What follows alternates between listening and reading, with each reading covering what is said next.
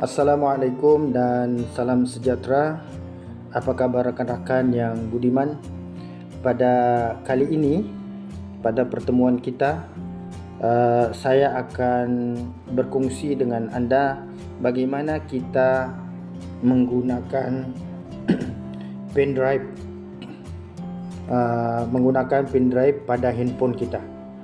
Kadang-kadang kita uh, ada file dalam pen drive ini yang yang perlu kita transfer dalam handphone kita ataupun sebaliknya ada file dalam handphone kita yang ingin kita transfer dalam pen drive sebelum kita print atau kita share dengan rakan-rakan yang lain.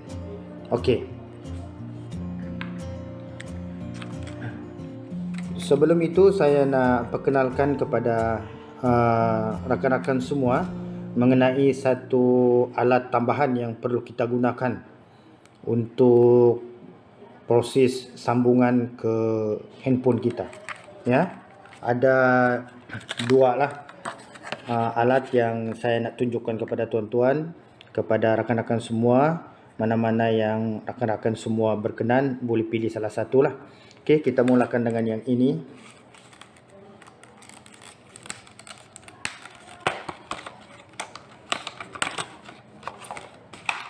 Yang ini ialah uh, alat ini dinamakan sebagai OTG atau uh, on the go ya. Tujuannya ialah ini untuk connection ke handphone kita. Okey dan manakala ini untuk uh, sambungan ke apa ni pen drive kita ya sama begini ataupun di sebelah inilah mana-mana yang sesuai. Okey? Uh, yang ini pula okey yang ini pula uh, namanya ialah konektor ha? sama juga fungsinya. Ini untuk sambung ke handphone kita dan manakala ini untuk uh, pin drive. Okey? Saya akan tunjukkan bagaimana setting handphone untuk sambungan ke OTG ini atau ke apa ni pin drive ini. Okey. Okey, sekarang saya akan tunjukkan bagaimana kita setting pula uh, di smartphone kita, di handphone kita untuk penyambungan OTG ini ya. Okey, kita pergi ke setting. Okey. Uh, kita pergi klik yang additional setting ini. Okey, kita klik yang ini. Okey, kita scroll ke bawah. Di sini ada OTG connection. Ha, ini kita kena on kan. Okey, kita on kan. Kalau kita uh, connection kita punya uh, apa ni tadi yang OTG itu. Jadi kena on kan. Okey. Okey, saya akan tunjukkan bagaimana uh, pasang uh, OTG ini. Okey, uh, kita masukkan di sini. Okey, kita sambung pun kita. Kemudian uh, yang ini kita masukkan pin drive kita tadi. Okey, kita masukkan di sini. Okey, sudah masuk. Sekarang kita akan uh, buka handphone kita. Kita pergi setting ha. Kita pergi setting, okey. Uh, kita pergi additional setting. Ya. Additional setting yang ini. Ya. Okey, kita pergi yang ini additional setting, kita klik itu. Kita pergi bawah di situ ada OTG connection. Okey, kita klik yang ini. Okey, dia akan terus bawa kita ke uh, pen drive kita ini tadi ni. Okey. Ada di bawah. Ada dua phone storage dengan OTG. Jadi kalau kita nak uh, lihat file dalam pen drive kita ni, kita klik OTG ni. Okey, saya klik. Okey, ini ialah file-file yang berada di dalam uh, pin drive kita. Okey. Contoh yang ini ya, itu cara. Kita boleh klik buka, tengok macam mana.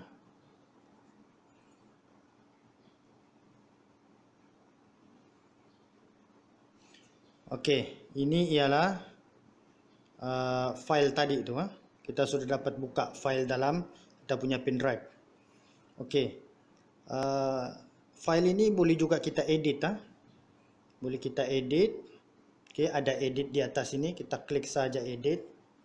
Okey. Okey, katakan kita nak tambah apa yang perlu di sini. Katakanlah jamuan. Uh, katakanlah tengah hari ha? kita nak tulis tengah hari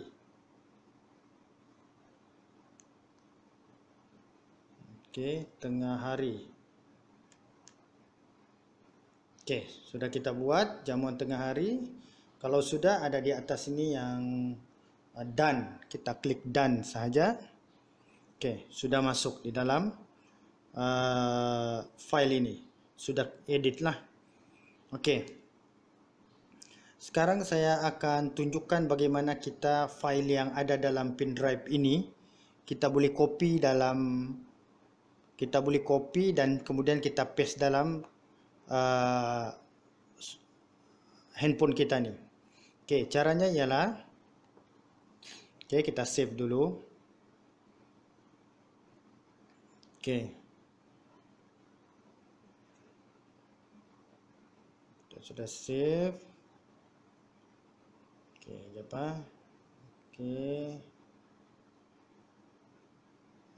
Okey.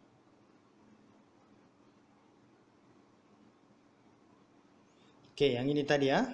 Yang ini kita klik tu cara ini. Kita klik kita tekan ya sampai ada tanda right di ujung tu. Kemudian ada dua di sini. Satu di bawah ni share dengan uh, copy. Jadi kita uh, sebelum itu saya nak bagi tahu uh, file ni pun kita boleh rename semula. Kita tekan yang ini, klik yang more ni. Okey ada dua di sini. Satu ada empat ha. Compress file boleh kita kecilkanlah file ni, okey. Yang ini kemudian rename file. Kemudian kalau kita nak details boleh uh, tekan details lepas tu open with ini kalau kita buka dengan aplikasi lain lah. Okay. Okay. Saya nak tunjukkan yang copy ni. Okay. Kita klik yang copy. Dan kemudian kita pergi ke phone storage. Okay. Di sini ada di bawah ni copy, copy to here. Kita copy sahaja. Okay. Uh, okay. Dia ada sudah di sini di dalam kita punya uh, coba kita lihat dalam phone storage kita yang ini ya phone storage kalau ada sudah file itu uh, oke okay. ah ini ada sudah di bawah ni oke okay, boleh kita buka dan lihat oke okay. ada sudah file ini di dalam kita punya phone storage oke okay. Begitu juga sebaliknya, jika ada dalam phone storage ini, file yang ingin kita copy masuk ke dalam pin drive kita. Okey, caranya ialah begitu juga kita cari file itu, katakanlah saya cari file uh, saya cari file yang ini. Okey, saya tekan sampai ada tanda kuning ini dan kemudian saya copy dan masuk ke OTG tadi ni. Okey copy to here saya copy saja okey kemudian kita cek sama ada ada file itu di dalam kita punya uh, pin drive ni. Okey dalam pin drive ni. Boleh cek kita tengok. Okey saya cek ya ini phone storage lagi. Okey ada di OTG ya yang ini. Kita klik. Cari. Okey ada sudah di sini yang ini. Kita boleh buka dan lihat file ini. Okey, ada sudah. Ini nah. Plan. Okey. Jadi memudahkan kita. Uh, tidak perlu kalau ada file dalam kita punya pen drive ni tidak perlu kita masukkan dulu uh, dalam laptop atau kita punya PC kemudian baru kita transfer Okey, uh, rakan-rakan semua itu sahaja perkongsian kita pada kali ini. Semoga memberi manfaat dan uh, memudahkan rakan-rakan semua untuk melakukan uh, kerja-kerja seharian berkaitan dengan uh, handphone dan juga pen drive ini. Okey, jangan lupa like, uh, subscribe dan juga bunyikan loceng supaya anda dapat maklumat dan info-info terkini daripada channel Cikgu Pian ini. Okey, sampai berjumpa lagi. Bye bye. Assalamualaikum.